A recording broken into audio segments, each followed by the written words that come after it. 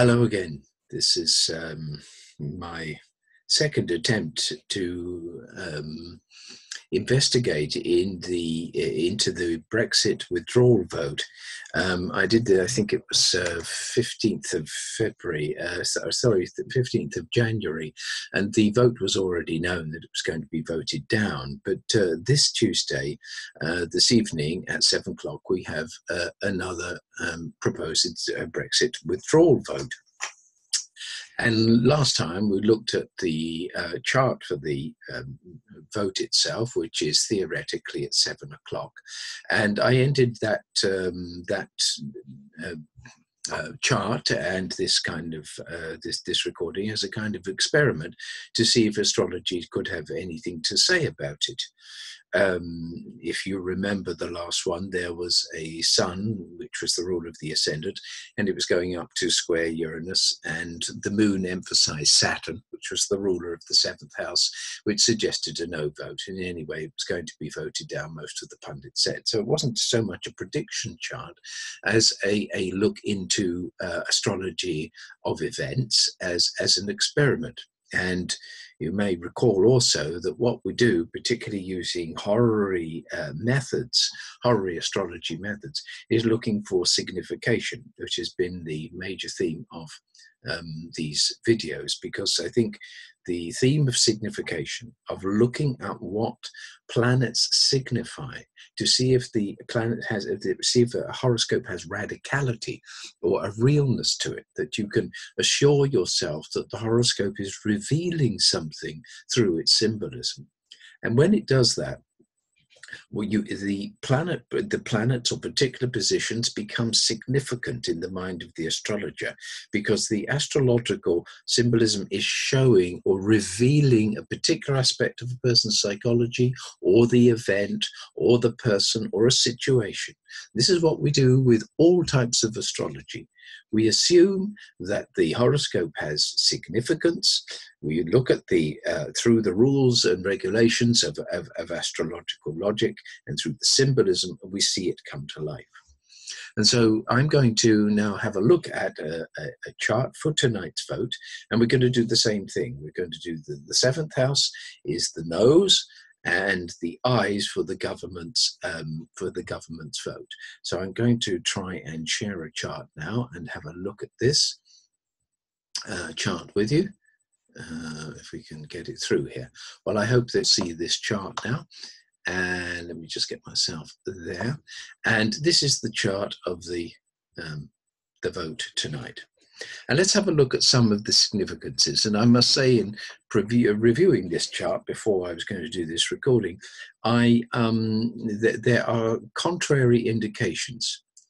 In other words, I think the thing is very, very finely balanced because when we look at the significators of the ruler of the seventh, which would be Venus, and the ruler of the seventh, which would the noes, the ayes are the first, the noes lobby are going to be the, or against, are going to be the seventh, we see some very interesting things uh, because both sides have uh, beneficial aspects. They have support.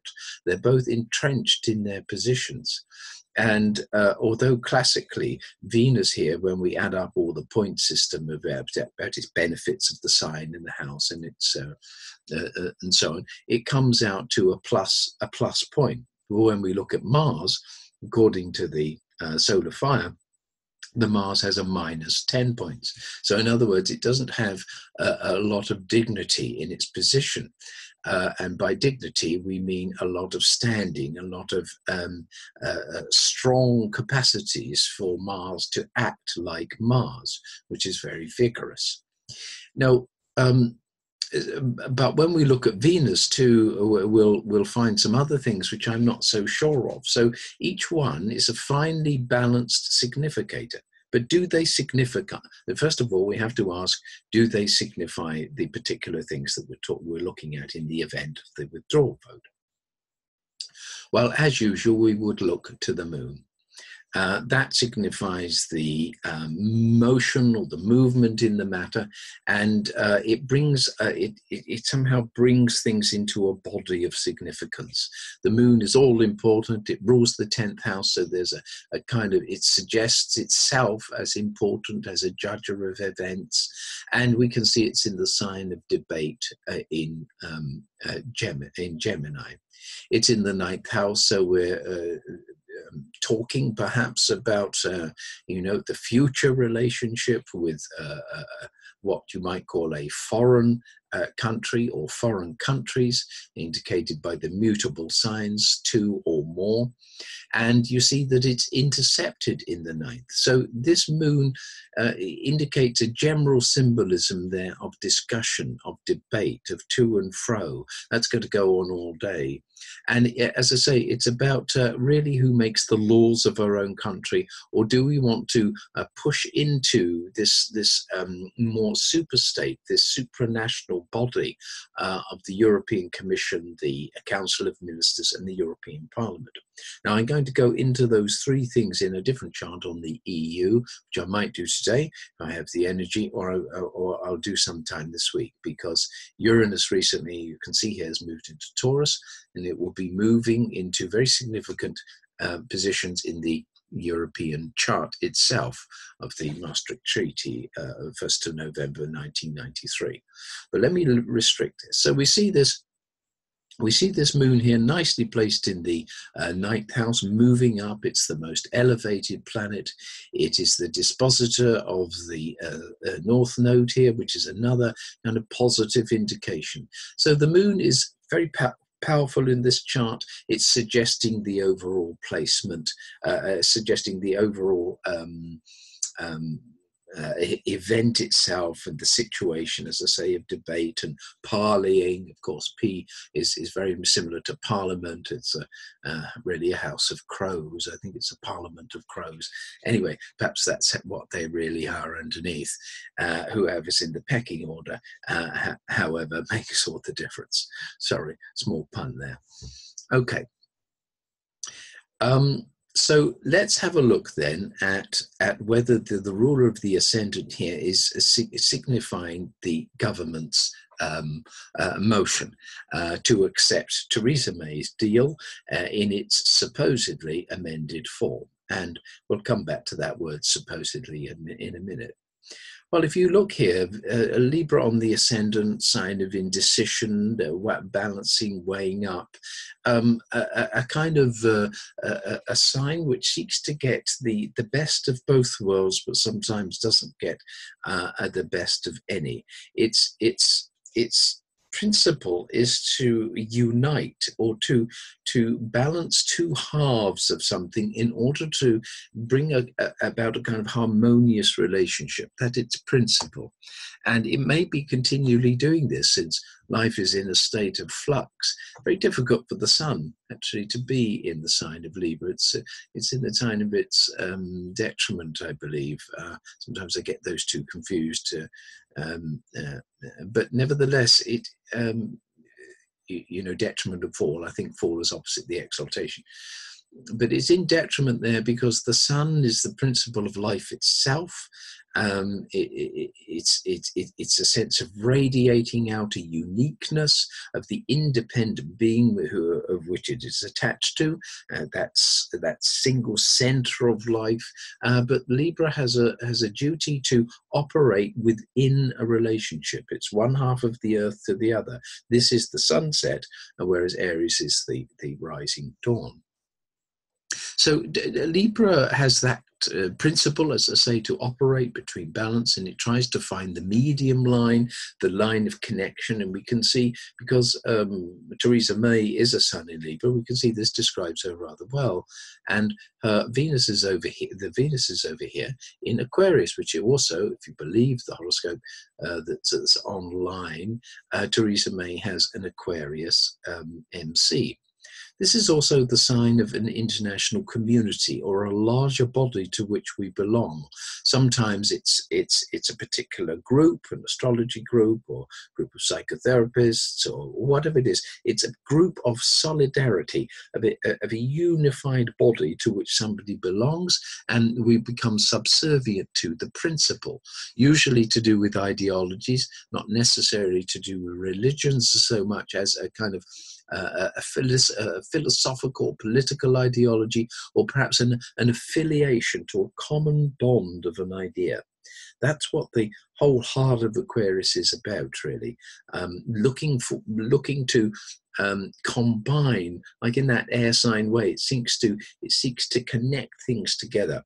So we see this as the European community, or, um, or uh, Theresa May's um, uh, suggestion um, uh, to do with the withdrawal agreement. So I believe that this shows her quite well, or at least the government's uh, forward motion, as it were. And let's have a look at its position. Um, it has a, a, score of plus two, which isn't particularly great on the dignity debility scale, but we see it is an exact sextile here to the part of fortune, which is always a, a, a fortunate position. The part of fortune adds something like um, uh, quite a few points to a planet in horary astrology. It brings it a fortune, it, it adds something beneficial to the planet, especially if it's um, conjunct, sextile, or trine is okay. Um, now, apart from that, it doesn't have any particularly other good aspects and um, uh, and so to, to to no other bodies except to a square of Mars, which brings it into a conflict. One wants to go one way, the other wants to go another. Now, Mars, as you can see, is the opposite sign. It rules the no lobby. So we can very clearly see a square, a tension between those that, um, if you like, seek an independent being. Mars in Taurus has a particularly uh, strong emphasis on, on the individual, um, it, it, seeks security. It wants things to remain the same. It can be very belligerent, ultimately extremely reliable.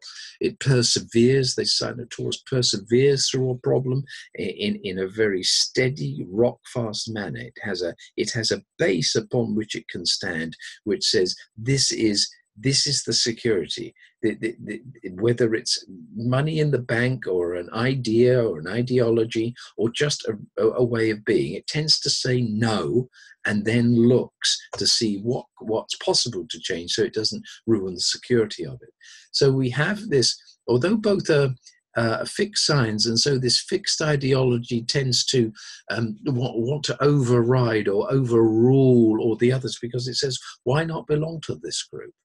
Uh, the group is a is a greater um, the herd instinct, if you like, is uh, to belong to that would be much more secure. But Taurus says no. I'd rather look after my own money. I'd rather uh, keep what is mine as it is, because there's a danger. There's a danger in change of ruining a structure, Taurian, uh, Saturnian structure, uh, and you see here uh, um, uh, Mars is trine to Saturn. Is this the the if, if we change the structure, then then I'll have to build up another secure base. It's like battering something down. Taurus has a terrible trouble with, with changing things um, because it just feels insecure, whether that's relationship or whether that's um, uh, to do with getting rid of the uh, the things that they have. Um, uh, essentially it is the planet of uh, the sign of uh, the certainty, looking for that upon which one can depend.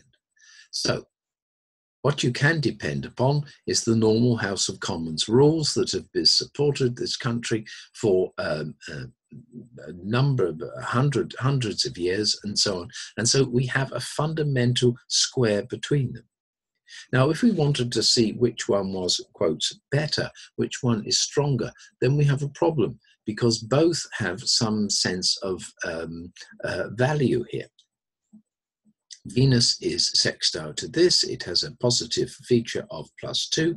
And you can see here that the moon will eventually, in that sign of Gemini, trine that Venus. So the future, it, the future looks reasonably good for Venus in, in this sense that something positive is going to come out of the government's position.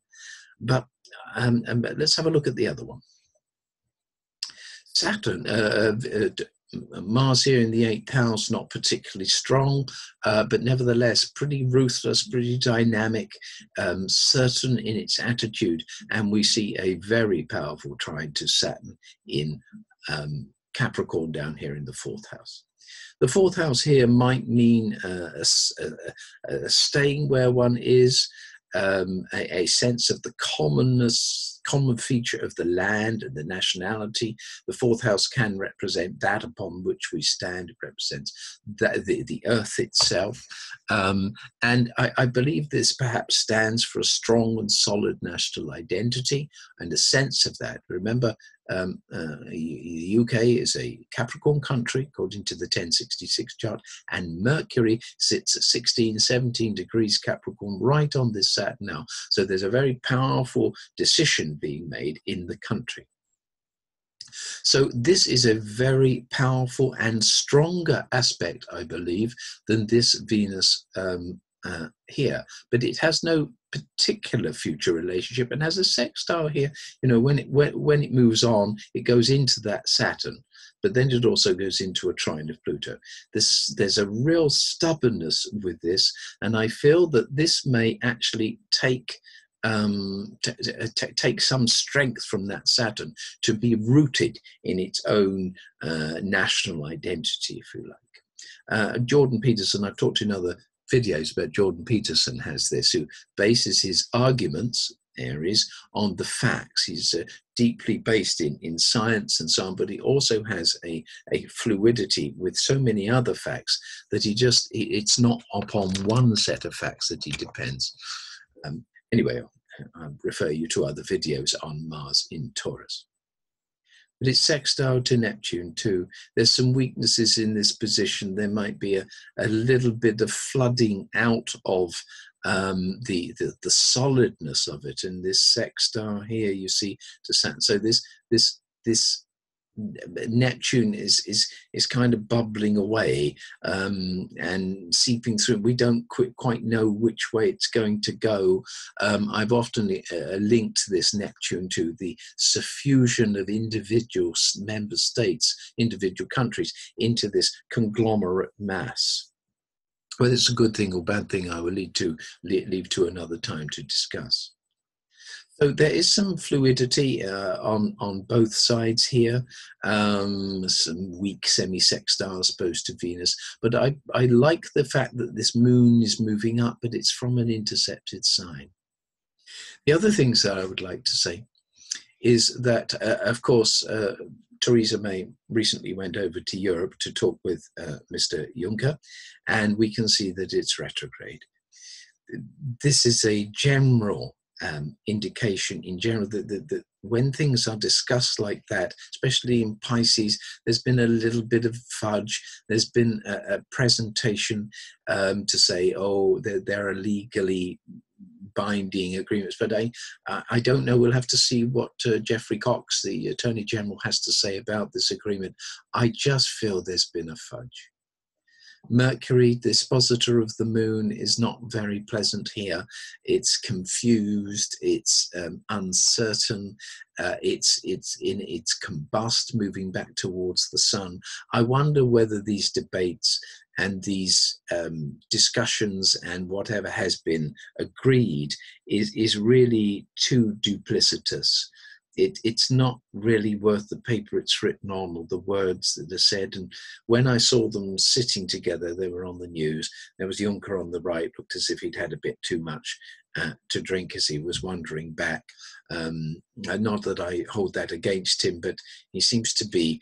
Uh, uh, somehow in his own world sometimes and but but Theresa looked very very stony faced she looked depressed she looked despondent, and although she delivered the speech as usual, with her Virgo in accuracy, uh, moon in Virgo, and there wasn't wavering in the voice. Her face didn't look very.